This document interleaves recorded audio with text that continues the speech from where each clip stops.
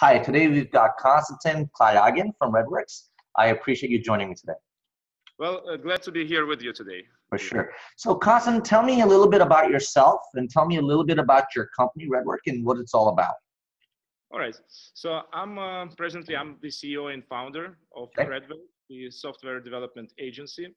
Uh, we've been around for over uh, 12 years on the okay. market. Uh, we have uh, multiple um, complex projects and SaaS systems on our portfolio. And um, well, when it started 12 years ago, I wanted to build an organization that is capable of uh, addressing every step of the software product development lifecycle, mm-hmm. which means that uh, we, could, uh, we should be able to start with the requirements, then uh, write um, technical specifications, do architecture, uh, provide UI and UX uh, for the product, uh, develop it, test it, put it into production, production, and maintain it. Wow. And, uh, you know, I, I did a little bit of digging in your website before our interview today. Sounds like you cover a lot of different technologies, right? Well, we do, uh, we do have quite a wide uh, technology stack. And uh, the reason for that is that uh, in order to be able to build a, a modern SaaS application, you have to um, possess knowledge in the backend part to be able to implement the business logic. Um, then you also have to uh, know the front-end technology so that you can build the web front-end part, typically responsive web. Then uh, uh, there's also a need for mobile technologies knowledge mm-hmm. so that there are uh, mobile apps attached to that. And sometimes if we are talking about PaaS, like platform as a service, then you should also be able to uh, design and implement an API for third-party developers. Yep. Yep. Wow. So highly, highly sophisticated, uh, you know, agency that you're running over there. How big is the agency as it stands today? Uh, was it? H- how many people are actually working at your company? Uh, well, nowadays we are almost 50 people.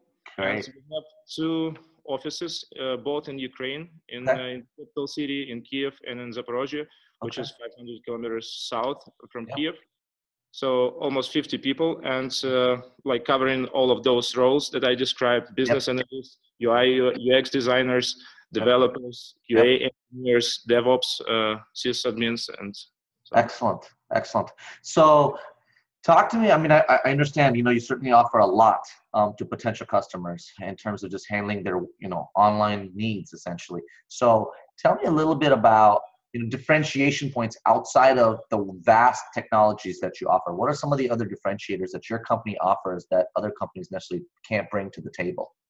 Well, from what I know about the the outsourcing, so to say, uh, like software development outsourcing landscape, is uh, that uh, many of businesses, many businesses practice uh, a very simple business model that is outstaffing. So their only role is like giving uh, a person, a developer, a desk, a chair, an internet connection, saying this guy on Skype is now your boss. you don't do that, right? I'm a software engineer myself. I wrote my first program when I was eight years old, and ever yeah. since I wanted to build a software development company. Yeah. And uh, now that I have one, I find this business model extremely boring. It's it, there's no value, absolutely, that you uh, right. bring to the table, right, with this approach. Right. So what we do, we take away a lot of pain from our customers, micromanaging managing developers, right? Yeah. So really stand ups with them. We, we take care of all the communication, quality assurance, and everything internally, so that they, they can just sit back, relax, and uh, uh, and wait till the deadline that we commit to to have their product or a functionality in the product developed. Yeah, no, I think that's a great way to put it, and uh, I think that uh, you know it's very interesting because when people actually hire you, they're essentially hiring, you know, your people, right? And so the quality of your people uh, is something I'd like to learn a little bit more about, um, because essentially that's what they're transacting on, and so are they all as well spoken as you and as thoughtful as you? Or to talk to me a little bit about you know the quality of people that work at your place. Well we have a whole uh, hr department and uh, a few recruiters uh, working for us in-house.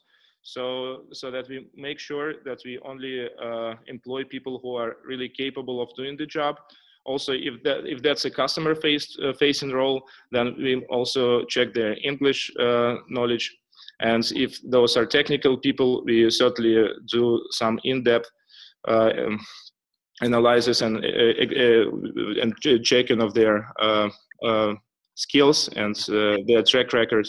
Right. So th- this is very important for us. Uh, another thing is that uh, since we are based in Ukraine, uh, there is a good school and a lot of talent, and like pretty much every developer who works for us has holds at least a master degree in computer science right. or applied mathematics, like myself. Yeah. Yeah. So that your your corporate culture that hey, not to just connect an internet connection uh, to a computer and just be a dedicated developer is something that I would presume the rest of your team believes in as well. I mean, they're essentially really, you know, taking your leadership and applying, you know, your business value proposition that you offer your clients and potential clients. I would presume permeates throughout the organization. Correct? Well, of course, yes. So we, uh, what we also sell besides our knowledge is our process. And mm-hmm. this process is very well defined and also fine tuned over the years. And we know how to handle specific situations properly and uh, in the most efficient manner and um, like starting with the with the issue or a development task lifecycle from from its uh, specification and then discovery with the customer if it's if it's under specified right. to to its implementation testing checking against the initial requirements testing it for bugs, deploy it on it live. So it's it's all well defined and documented how it should work. Right.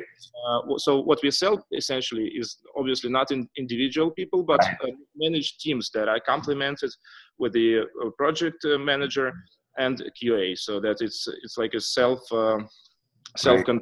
unit that can act as a part of another team. We yeah. also have cases of integration into ongoing development or as a separate uh, development unit. And we also have examples like that when uh, a customer didn't have a single uh, technical person on site, but they used our technical skills to for, to develop their requirements up to their requirements in on an ongoing basis. Okay, very cool. So talk to me a little bit about your pricing you know and, and i understand you know it certainly depends on the needs of the client or potential client right but talk to me a little bit about is it an hourly rate? And if it is you know what does that look like generally? Um, and then talk to me about a particular case study that maybe you worked for somebody and then give me a price tag and timeline attached to it. Wow. Well our pricing i would say that is market average. And uh, we, we, we charge uh, based on the hourly rate. So in the end of each month, our customers get a time report uh, outlining uh, exactly who worked on what and for how long uh, and uh, and when. Mm-hmm. and based on uh, uh those, time reports we also uh, send our invoices right? Mm-hmm. and um, a good case study so how much is the price? What is the hourly rate that you apply today for and, and i'm you know give me an idea give me a range a range would be between 30 and 50 dollars an hour. Okay. for, for developments and between maybe 15 and uh, 25 dollars an hour for uh, quality assurance. Okay for qa all right. Mm-hmm. and uh, any i i mean we can we can cover a case study if you like or i can just keep moving you whatever you prefer. Well of course we can uh, we can cover a case study but uh, i'm just trying to ponder which could be considered a uh, one-off project that um, Mm, well, all right, all right. There is a good case study. So uh, there is a there used to be a startup in Berlin, in Germany, which uh, which was basically something like handy.com, I believe it's called in, in, in the US, right? Huh? That's uh, that's you use to uh, to order a house cleaning service, right? Right. Uh, so uh, there was a startup like that in Berlin, very successful startup, one of the uh, Berlin's uh, like best success stories mm-hmm. because uh, they made an exit through being uh, through acquisition. They got acquired by uh, Rocket Internet's Helpling DE, okay. which is which is like a so, so solid company, okay. especially in, in, the same domain. So before being acquired, they needed an app for their cleaners which would run smoothly on all the all possible Android devices, right? On the shittiest, uh, I don't know, um, um, you know, Android uh, phones, yeah. because that's what cleaners have. They they don't have an iPhone. They normally have a Huawei or something like that. Okay. So, um, uh, so what we did, um, we created an app for them. Uh, we came up with the with the uh, UX and UIs that are easy to understand for uh, for uh, for cleaning ladies. Yep. And uh, what we did, we implemented it, and uh, I think it was a part of. Uh, this is how we contributed to uh, to their success and to into their exit. Right. And what did it cost them? Uh, the app was not actually that that expensive. I think it was uh, five thousand uh, euros. Okay. Yeah, very reasonable. I mean, from you know, again, that's just me saying that, but it sounds like a very, very fair, square deal. Um, what's the biggest complaint you hear from your clients? Uh, the biggest complaint is, uh, well, sometimes you know, and it happens a lot in uh, custom work, that uh, you are not able to deliver up to the initial estimates because there is some scope creep and some. Um, uh, some changes in uh, in the specification that occur during the de- development process, and um, and uh, this is uh, when it comes to our project managers uh, that they have to manage our customers' expectations. Got it. Got it. Yeah, I, I can see that happening. Um, you know, once you start with a project, a customer always wants more. you know, there's always, oh well, I didn't think of that. I think, well, now I want this, but then I want it at the same rate that we originally talked about. It doesn't yeah, always yeah. work I that call way. I it putting all the all the goods, all the weight into the uh, last car of a living train. Right. And this is right. this is this All is right, why we dropped all the fixed uh, fixed quotes uh, about like three or five years ago because we we couldn't handle it anymore. sure. Nowadays we just give a range and saying that every change in the in the requirements has to go through a certain process. Yep. We only assess the scope that we have available right now. Okay, makes sense. So, where do you see the company in two, three years from now? Well, growing, uh, more fun to work at, uh, a lot of happy customers. Yeah, Maybe- yeah. So, but but same set of technologies, um, same philosophy, obviously. Um, do you, do you see any type of a need that you're seeing from your customers right now that they're asking for more, whether it's mobile? Um, you know, I, I'm not sure what you're seeing. Are you seeing a trend in any one particular type of a requirement that you think will expand over the next two, three years? Well, I think uh, a lot of people are uh, trying to apply machine learning and AI in their projects. That is clear. Also, augmented reality is a, is a big thing. So if you do mobile, it's good to to know a few technologies that let you uh, do that. Yep. And Very cool. Very cool. Well, if somebody's, you know, we, we definitely, you know, drive traffic to our website where people are looking for, you know, um, developers. And so I think, uh, you know, it'd be, uh, if I was looking for a company um, from a development perspective, I would definitely want to at least talk to you just to get an idea of what type of a cost I'm dealing with and what type of timeline I'm dealing with. And so I would highly recommend our visitors to at least reach out to you and, and, see if it's a good fit. I mean, I've talked to a lot of agencies over 16 years, and uh, I'll tell you, it's it's tough to make it work when somebody's offshore.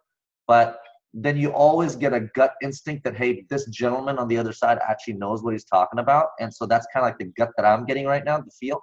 So I'm uh, you know, I would highly recommend people at least talk to you to get get get some feedback in terms of their project, you know, and then and then they can make their own decision. So how does somebody get a hold of you? What's the best way? Well, the best way is to submit uh, some information about the project through our website. Mhm. But uh, we are also very, so we, we try to maintain very um, informal uh, Yeah. Contact with our customers. And many of them are my personal friends or friends of my team uh, that they become after starting working with us. And uh, so they can talk directly to me. Uh, all, all of my contacts are in my LinkedIn profile. They can talk to my sales team. They can easily be uh, in contact with my uh, project management team. Yep. Uh, Okay, and how quickly does it take for somebody to go ahead and uh, get a quote from you? Well, normally we provide high-level quotes within uh, maybe two, three days Okay. uh, after receiving um estimations, uh, requirements. Sorry. And normally they come uh, as a as a we send them as a range, like Mhm. from this much to this much, depending on one, two, three. Correct. this gives people a feeling like if uh, if it fits their budget or sure. they want to go ahead with us. And so we also get a lot of inquiries through our website because we've been around for a long time, and we have uh, yeah. our departments uh, making sure that's uh, yeah visible. And, uh, okay, and, and, the website is redwerk.com. R e d w e r k.com. Yes, correct. Exactly. All right, all right. Well, Constant, thanks so much for your time today. I really, really appreciate it. Thank you, Jeev.